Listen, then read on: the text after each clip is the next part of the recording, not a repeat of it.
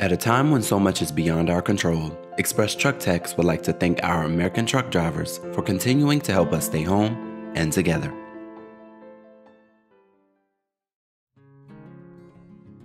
Truck Zone is one of the most helpful features in your Express Truck Tax account. This section allows you to enter information for your vehicles so that you can store them year to year and easily add them to each of your Form 2290 returns.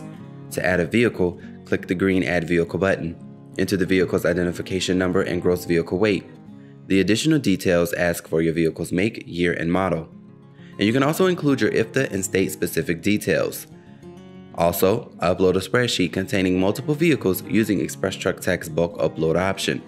After you add your vehicle, you can edit or remove them if necessary. This list can be sorted by VIN, weight category, and unit number. Ready to file Form 2290? Just choose the vehicle from your truck zone.